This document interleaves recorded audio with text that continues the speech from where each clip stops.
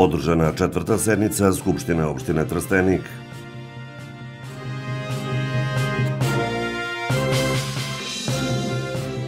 Od početka epidemije je 208 osoba u opštini Trstenik pozitivno na COVID-19.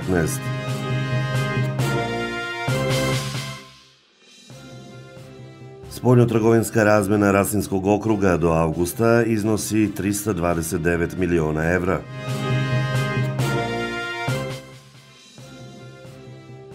Od 1. novembra moguć ulazak do 400 osoba iz Srbije u Grčku.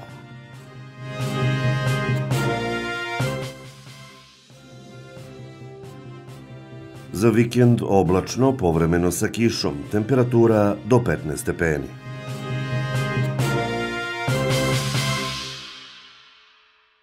Poštovani gledoci, počinje dnevnik radio televizije Trstenik. Ja sam Darko Đurđević. Prema podacima Zavoda za javno zdravlje Kruševac za petak je stiglo 29 novih pozitivnih rezultata na prisustvo virusa COVID-19 za teritoriju Rasinskog okruga. U Kruševcu 9, u Aleksandrovcu 6 i na teritoriji opštine Trstenik je 14 novoinficiranih osoba. Od 4. jula u opštini Trstenik ukupno je 208 osoba pozitivno na koronavirus. Na građane se i dalje apeluje da strogo poštuju sve preventivne mere, nose zaštite maske, održavaju ličnu higijenu i izbegavaju okupljanja u zatvorenom prostoru. Na infektivnom odeljenju Kruševačke opšte bolnice hospitalizovano je 40 pacijenata. Sa teritorije našeg okruga poslato je 159 novih briseva na testiranje na prisustvo koronavirusa. U Rasijskom okrugu ukupno COVID-19 od početka epidemije u martu meseca ove godine inficirano je 1829 osoba. Po zdravstvenim nadzorom nalaze se 5327 osoba iz okruga, a kao izračeno se vodi 1488 osoba iz okruga. Inficirano je 9 učenika, 6 iz opštine Trstenik, 2 iz Aleksandrovca, 1 iz Kruševca, kao i 3 nastavnika, 2 iz Trstenika i 1 iz Kruševca. Pozitivni na COVID-19 od početka epidemije u opštinama Rasijskog okruga su sledeći. Kruševac 1112, Aleksandrovac 355, Trstenik 208, Varvarin 74, Čićevac 58 i Brus 119. U Rasijskom okrugu od posledica izazvanih prisustvom virusa COVID-19 preminulo je 55 osoba, i to 40 muškaraca i 15 žena. Prema podacima iz COVID ambulante Trsteničkog doma zdravlja, u četvrtak 29. oktobra obavljeno je ukupno 86 pregleda, 28 prvih i 58 drugih pregleda. Određeno je 12 specijalističko-konsultativnih pregleda, kao i 12 rengenskih snimaka pluća. Na infektivno odeljenje Kruševačke bolnice preveženo je sanitetom 5 pacijenata i isti broj je zadržan na lečenju. Broj testiranih osoba serološkim brzim testom je 21, a urađeno je 24 PCR testa. Ukupno pozitivnih od 4. jula u opštini Trstenik je 208 pacijenata, još 14 pozitivnih od utorka 27. oktobra, od uzetih 28 uzoraka.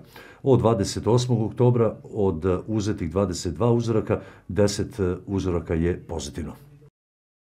Na četvrtoj redovnoj sednici Skupštine opštine Trstenik razmatran i usvojen izveštaj o izvršenju budžeta opštine Trstenik za prvih devet meseci ove godine, prvi rebalans budžeta za 2020. godinu, kao i niz drugih važnih predloga i odluka. Na samom početku četvrte sednice Skupštine opštine Trstenik odbornici su minutom ćutanja odali pošto svim našim sugrađanima koji su izgubili bitku sa COVID-19, a potom su prešli na dnevni red i razmatranje važnih pitanja. Na današnjoj sednici usvojen je rebalans budžeta za 2020. godinu i ono o čemu smo raspravljali su upravo te pozicije sa kojih smo e, dakle, pomerali e, sredstva ukoliko nije došlo do izvršenja tokom ove godine imajući u vidu situaciju sa koronavirusom za neke manifestacije, za neka putovanja. Prosto nije bilo ni uslova ni interesovanja, tako da smo ta sredstva iskoristili, usmerili na neke pozicije koje su se otvorile kao prioritet tokom ove godine. Prilikom kreiranja rebalansa vodili smo se time da odgovorimo prosto na sve zahteve i zaista smo ponosni jer bez obzira na ovu situaciju koja je zaista izazovna, ni jedan segment ne trpi, prosto sve se isplaćuje pravovremeno, sve svoje obaveze izmirujemo i nastojimo da sve one projekte koje smo zaplanirali tokom ove godine e, završimo i samo smo dakle, vodili računa o tome koji su prioriteti i da sve lepo rasporedimo e, da do kraja 2020. E, godine uspešno realizujemo planirane aktivnosti. Takođe smo raspravljali o izvršenju budžeta do septembra 2020. godine, opet kažem sa posebnim osvrtom na situaciju sa koronom koja još uvek traje, koja je izazovna, koja iziskuje određena sredstva i posebno u izdvajanjima kada je u pitanju higijena i u svim školskim objektima i na javnim površinama, ali isto tako i kada su u pitanju dezinfekcijona sredstva i maske, tako da smo tu poseban akcenat stavili.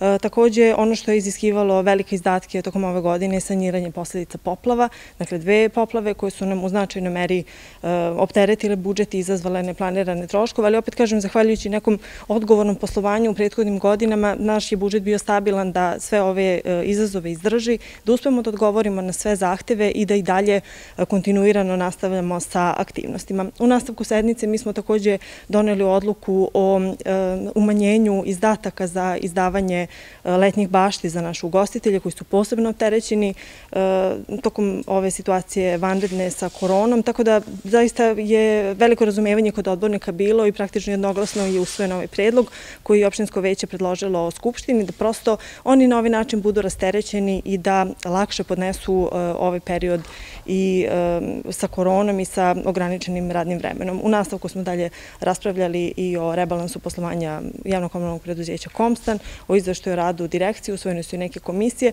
tako da je ovo bila jedna zaista efikasna sednica o kojoj ćemo omogućiti da planove do kraja ove godine završimo onako kako je, kako je zaplanirano. Takođe, ono što nisam pomenula, doneta je odluka koja je dakle, bila već planirana tokom kreiranja budžeta za 2020. godinu u dugoročnom zaduživanju, tako da smo na ovaj način kompletirali sve ono što je bilo zaplanirano za 2020. Pa ono što bih ja istakao danas e, je urađen rebalans budžeta i jedna tačka koja je meni posebno važna vezana je za rebalans e, posticaja za subvencije e, zaštite od rizika, da ta tačka je povećana sa 3 miliona na 3,900 kako bi svi naši poljoprivredni proizvođači koji su se osigurali mogli da ostvare obećane subvencije od strane opštine u vrednosti od 30%, jer mnogi naši poljoprivredni proizvođači su baš iz tog razloga se i opredelili za tu zaštitu od vremenskih nepogoda. Znamo da Republika daje 40%, da naša opština daje 30%, i pošto je mnogo veće interesovanje bilo ove godine za osiguranje, bilo je potrebno povećati ovu stavku. Ja sam stvarno zahvalan opštinskom rukovodstvu na, na brzom reagovanju i što će svi da a, dobiju te subvencije. I ova sednica u skladu sa odlukama kriznog štaba održana je u sali Doma kulture uz maksimalno poštovanje mera zaštite od COVID-19. Novoizabrana ministarka privrede Anđelka Atanasković preuzela je dužnost od e, dosadašnjeg ministra Gorana Kneževića. Primu predaja dužnosti obavljena je u prostorijama Ministarstva privrede, a Knežević je tom prilikom novoj ministarki preneo svoje iskustva. Ministarka Atanasković se zahvalila Kneževiću i poručila da će nastaviti da radi na daljem ekonomskom jačanju zemlje i podizanju životnog standarda građana.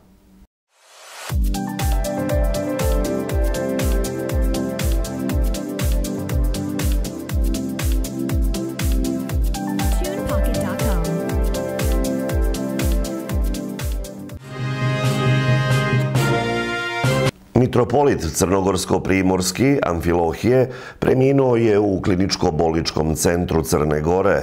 Objavljeno je na sajtu Mitropolije. Kako se dodaje o svim drugim detaljima u vezi sa sahranom, javnost će biti uskoro obaveštena. Mitropolit Amfilohije bio je na lečenju u bolnici u Podgorici zbog zaraze koronavirusom.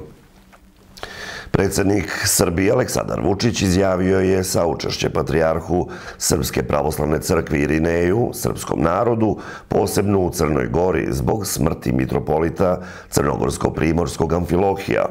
Volio bih da je vest netačna. Video sam da se u 8 časova i 20 minuta upokojio. Sve se dalje nadam da ta vest nije tačna. Ako je tačna, izražavam saučešće patrijarhu i srpskom narodu, rekao je Vučić. Epidemiolog Branislav Tjodorović rekao je da se ne postavlja pitanje zatvaranja škole i vrtića i to je stav koji postoji i u Evropi. Gradski sekretar za obrazovanje i dečiju zaštitu Slavko Gak navodi da je poslednje dve nedelje koronavirus potvrđen kod nekoliko mališana i dvadesetak zaposlenih u beogradskim vrtićima, kao i kod skoro 50 đaka, ali da nema mesta panici i da se situacija prati iz časa u čas.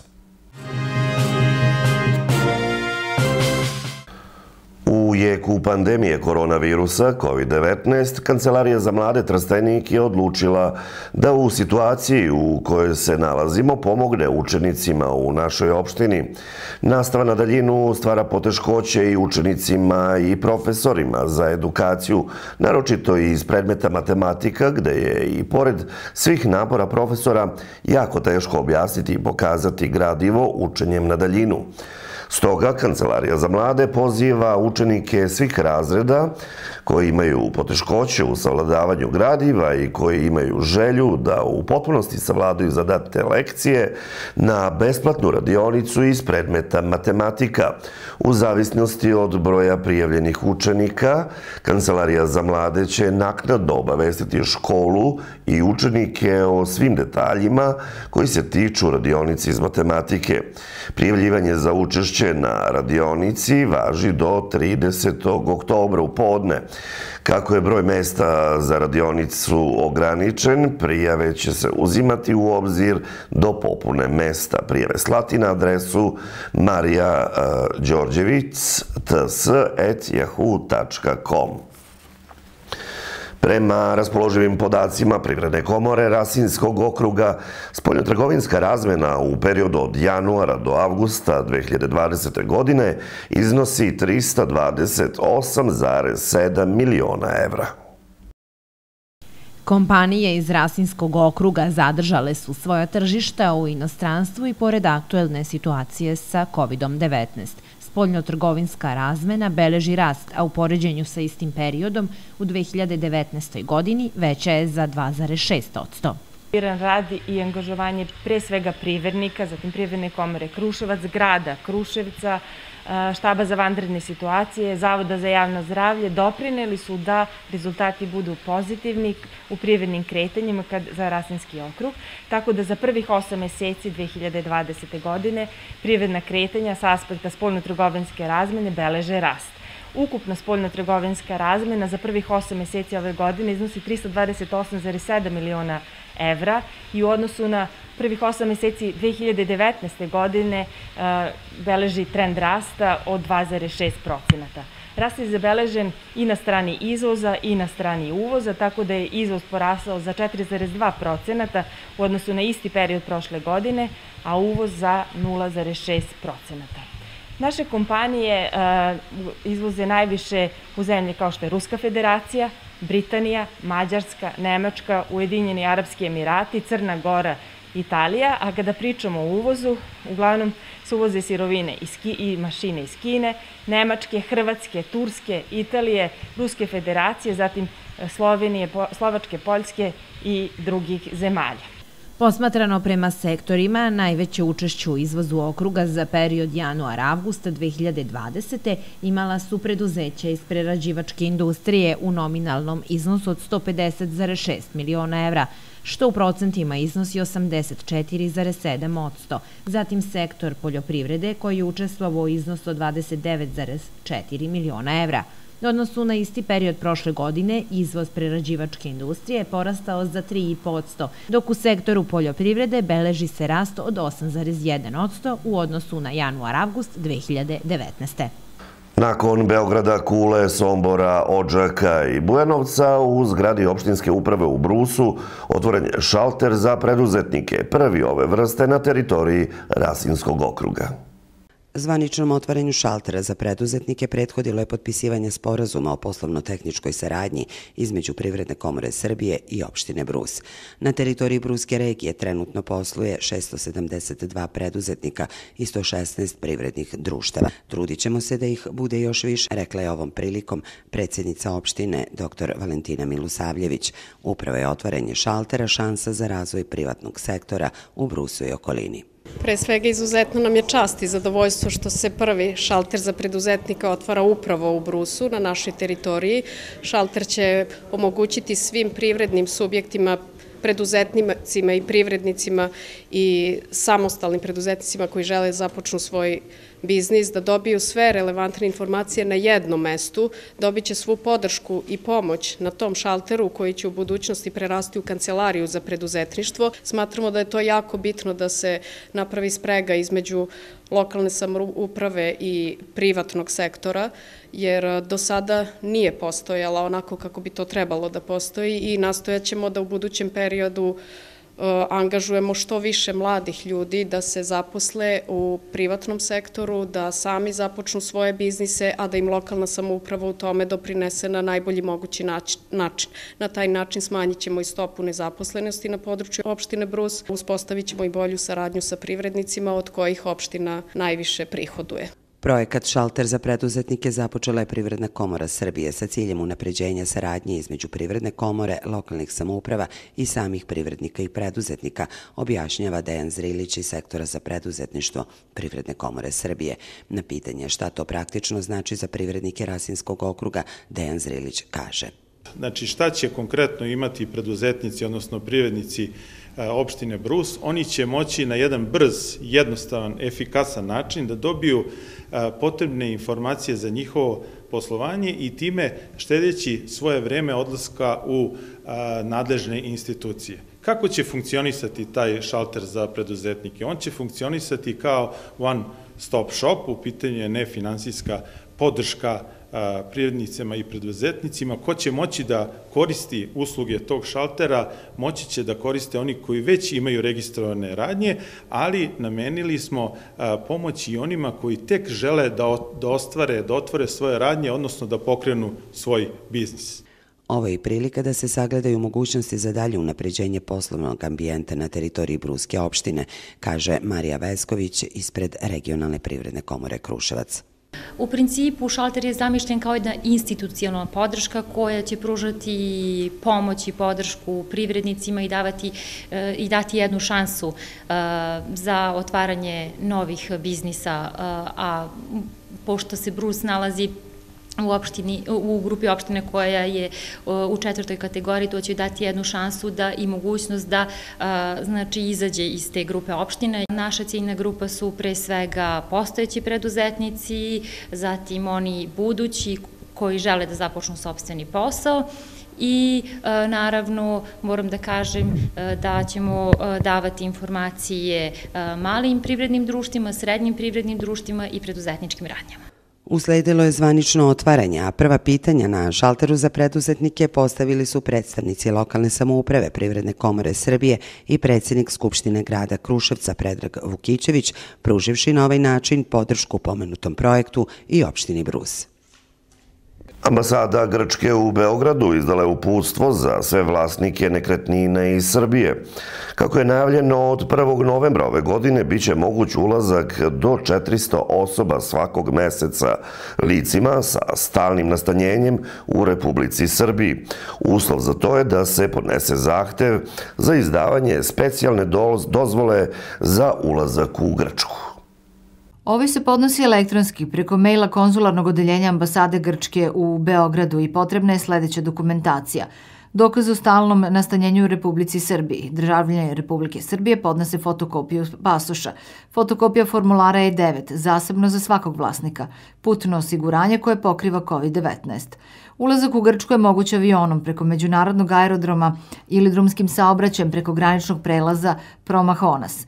Ambasada Grčke upozorava da u njihovu zemlju dozvoljen ulazak isključivo vlasniku nekretnine, ali ne i članovima njegove ili njene porodice.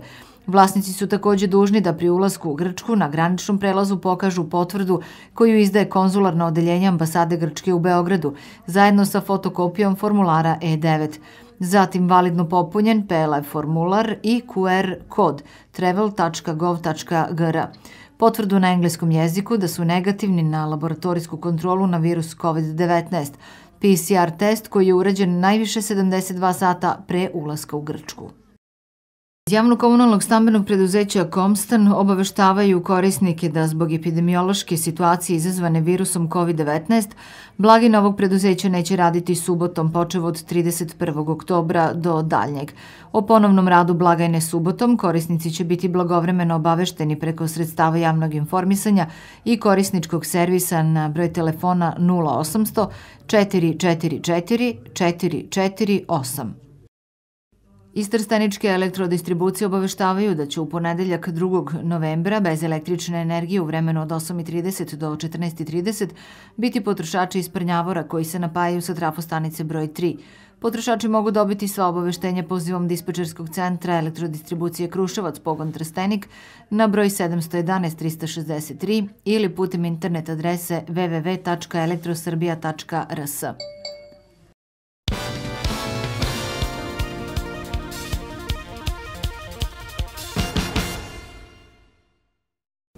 15. kolu Srpske lige Istok futbaleri Trstenika u subotu dočekuju ekipu Topličanina iz Prokuplja.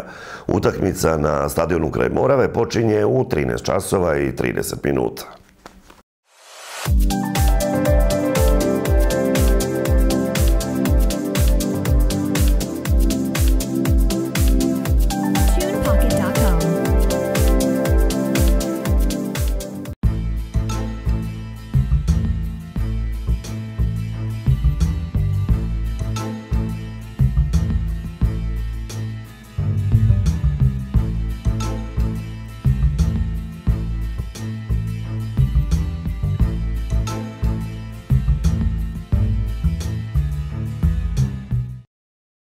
U subotu pretežno oblačno, povremeno sa kišom, vetar slab i umeren, na istoku jak severozapadni. Najniža temperatura od 5 do 10, najviša dnevna od 14 do 18 stepeni. U nedelju prepodne pretežno oblačno, posle podne delimično razvedravanje. Vetar slab promenljivog pravca. Najniža temperatura od 4 do 10 stepeni, najviša od 14 do 18 stepeni Celzijusa. Poštovani gledoci, toliko u ovom informativnom izdanju. Hvala na pažnji i prijatno uz program Radio Televizije Trstenik.